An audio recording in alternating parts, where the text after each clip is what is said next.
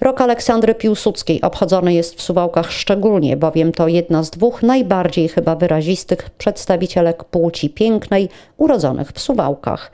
Duet Maria Konopnicka i Aleksandra Piłsudska to prawdziwy powód do dumy dla lokalnej społeczności, bowiem obie wybitne kobiety wpisały się do historii miasta, choć każda w inny sposób. Patronka trwającego roku, Aleksandra Szczerbińska po mężu Piłsudska, dla niektórych marszałkowa, ma tutaj jedyną w Polsce szkołę swojego imienia. Ma tu swą ulicę. Niebawem stanie w mieście jej pomnik.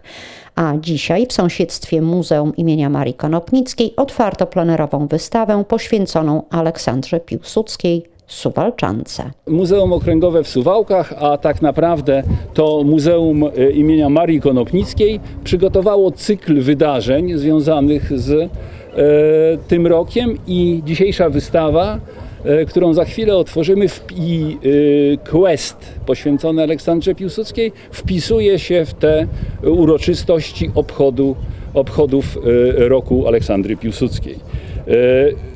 Z obowiązku kronikarskiego dodam, że y, projekt został zrealizowany w ramach y, projektu Patriotyzm Jutra ze środków Muzeum Historii Polski w ramach programów Ministra Kultury i Dziedzictwa Narodowego. Na kilku planszach zaprezentowano życiową suwalską drogę, ale też i epizody z późniejszego okresu.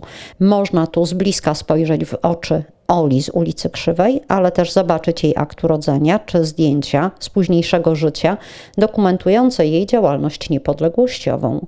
W wernisażu obok miejscowych muzealników, wojewódzkiego konserwatora zabytków oraz przewodniczącego Rady Miejskiej Udział wzięła kuzynka Aleksandry Piłsudskiej, Helena Omilian z domu Szczerbińska. Mój dziadek Władysław Piłsudski i ojciec to rodzeństwo. Powojenne władze robiły wszystko, żeby ta rodzina nie istniała.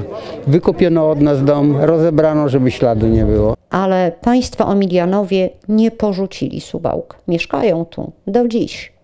Do rąk osób obecnych na wernisażu trafił również questowy przewodnik wiodący śladami Oli z ulicy Krzywej. Rozwiązywanie zagadek ma na celu nie tylko rozrywkę, ale również bliższe poznanie bohaterki i zachęcenie do pójścia jej śladem przez miasto.